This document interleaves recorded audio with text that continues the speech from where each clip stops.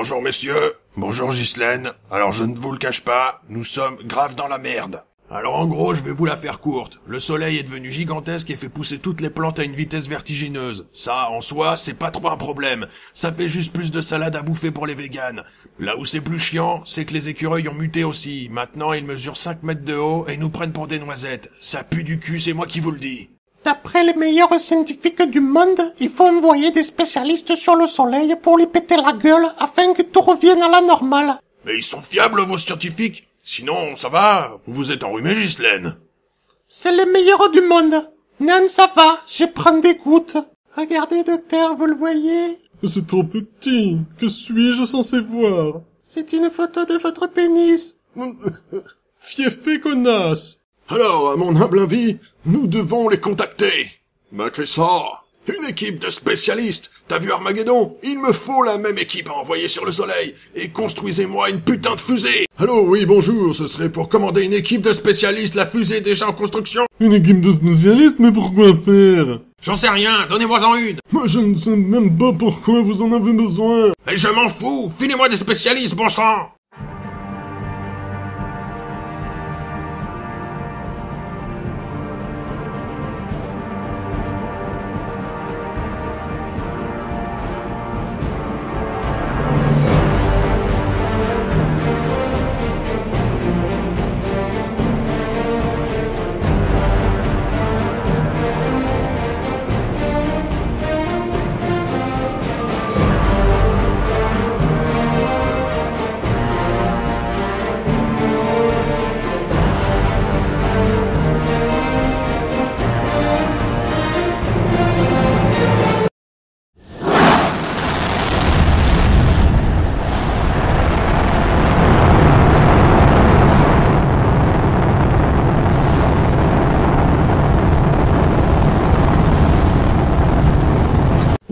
C'est beau. Je suis content d'être un États-Unien. J'espère qu'ils arriveront à accomplir leur mission.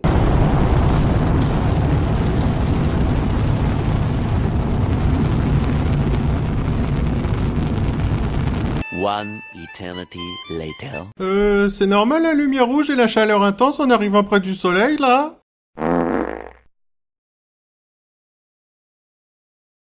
Vous êtes bien sûr Tout a explosé Il ne reste rien Ils n'ont pas réussi à atteindre le soleil pour lui péter la gueule Bon sang, c'était notre seul espoir contre l'écureuil apocalypse.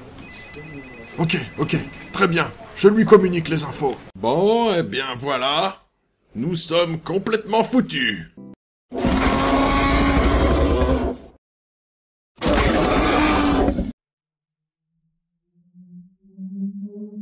Thank